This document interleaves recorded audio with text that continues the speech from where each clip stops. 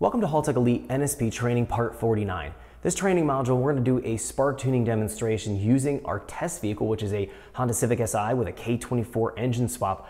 We're going to be going through the process from building our spark timing table out from scratch, learning how we can dial in both part throttle and wide open throttle on our mainline chassis dyno. We're going to learn how we can integrate a knock sensor into our knock control to guide us along the way doing our wide open throttle tuning. We have a lot to cover. Let's jump in so we can check this out. Okay, so let's get started. We're going to be taking a look at working with dialing in our spark timing on a live demonstration vehicle here for this tutorial. We're going to go through the process from dialing in part throttle spark timing into full throttle spark timing and using our knock control to guide us along the way. We have a lot of things to cover, so let's jump in and talk about what the vehicle working with here is going to be and then modifying our table and going through the entire process. So the vehicle we're dealing with here is a Honda Civic Si. It's an in-house test vehicle that we have. It's swapped with a K24 engine and the engine is rebuilt with 12.5 to 1 compression pistons. The engine will be a little bit more knock sensitive compared to a normal lower compression or stock compression K20 or K24 engine. So what we're finding in this tutorial may not exactly apply to your engine you're working with, but the concept, the idea of what we're trying to accomplish will apply across any engine you're trying to tune.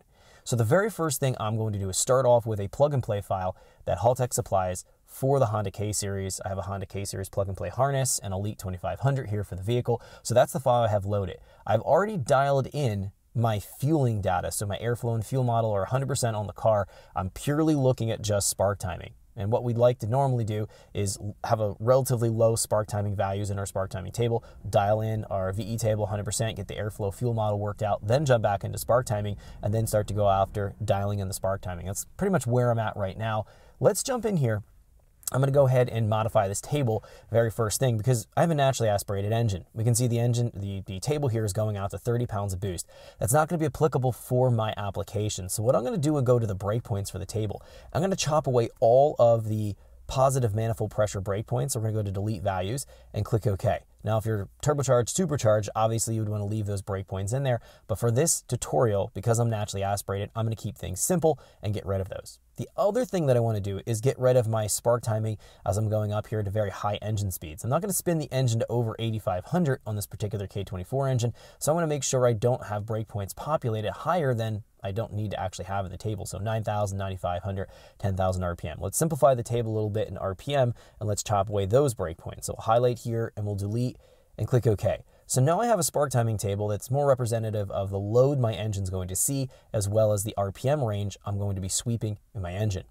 The next thing I'm going to do here is just grab the entire table and zero out all of my values. Now, normally you would not need to do this, but just for demonstration purposes and for this tutorial, I am zeroing out the table. I want to talk about how we can build out this table and then essentially starting from scratch so you can see that process from start to finish although you don't need to go this drastic or this extreme with zeroing out the table. So right now, if I try to start up the engine, the engine would be very sluggish and non-responsive with zero degree, zero degree spark timing, spark timing commanded in my table. What I'm going to do here is start to build out my table from my zero values so you can, again, kind of see how this table is going to shape up and form.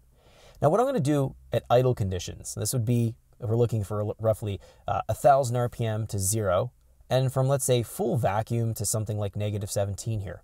I'm going to put a value of 15 degrees. That's a pretty reasonable spark timing value to have for most any engine. And then we'll find here as I'm getting up to 0 psi, I'll keep my spark timing between 0 to 1000 at 0 degrees. But what I'm going to do here is highlight between, and I'm going to do a H, which is interpolation horizontally. And I'm going to start to blend down that spark timing as we get up to 0. Now, the next step here is to consider in part throttle where we want to have our spark timing at.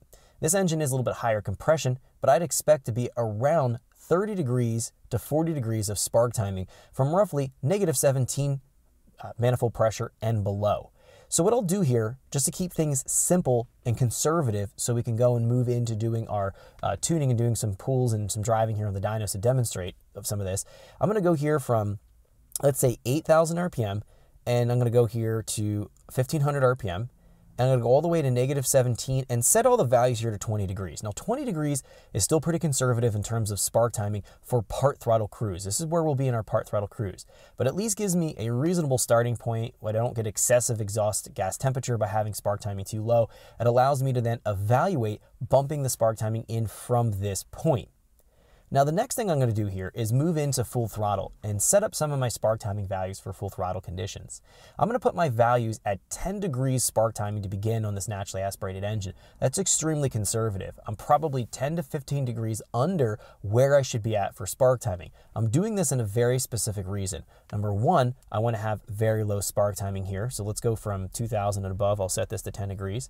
I want to go and have really low spark timing so that I can dial my fuel and airflow model in first I've already done that ahead of time, but assuming that I'm starting off with my process here and building out my table, 10 degrees ensures I'll have no knock or preignition under full throttle. I can focus on doing my pulls without worrying about damaging the engine.